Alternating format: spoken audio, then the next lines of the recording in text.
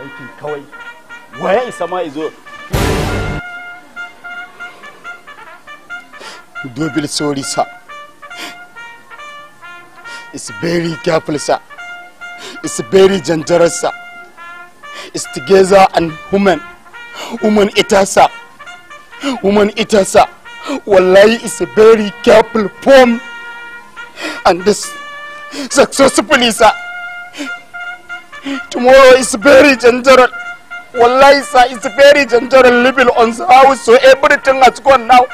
Why is never is gone to school yesterday? That is why I am not, I am not agree you, man.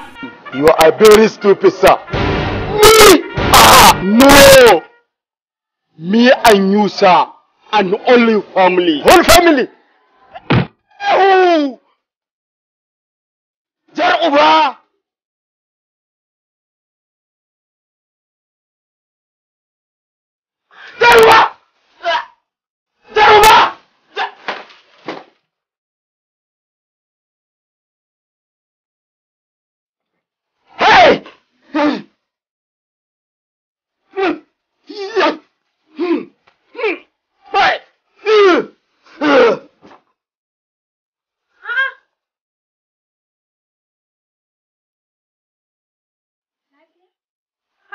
Ka zauna mana.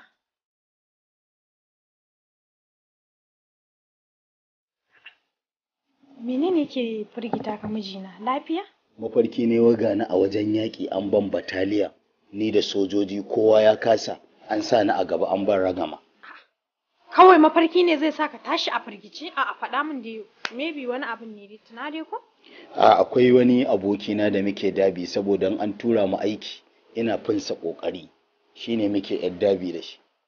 Me zai hana ka ka tashi dinga tashi a mafarki a firgice?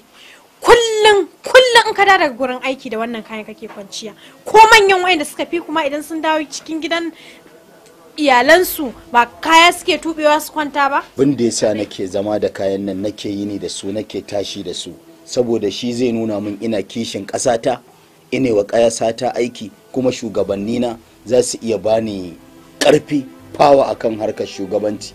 Don wata ran ina sa ran zan iya jagorantar ƙasar nan. Kin san me? Ina ganin rashin sallar da bana yi akan kari ne aka jarabce ni. Kawai buɗe baki za ka yi ka ce sallolin da kake tarawa ba wai ka ce wai mutumin da yake sallah ba akan kari ba kawai ya ce baya sallah. To me amfani? Yaushe rabon da kai sallah a gidan nan? Ina za ka? Ka da ka zauna. Wanka zan yi. Wanka. Sai yau? Za ka yi wanka? Kwanan ka nawa a cikin gidan nan baka wanka? Sai na yau ka gani. tashin tashina ba. A'a, ai gwanda in yi maka. Ke me kike nufi ne? Kin san Allah? Duk ranar da ina yin abu kina sa min baki to Allah ya kiyaye ranar da allura ta ta soja za ta motsa. Alkur'an sai na sa ki tsallan kwaro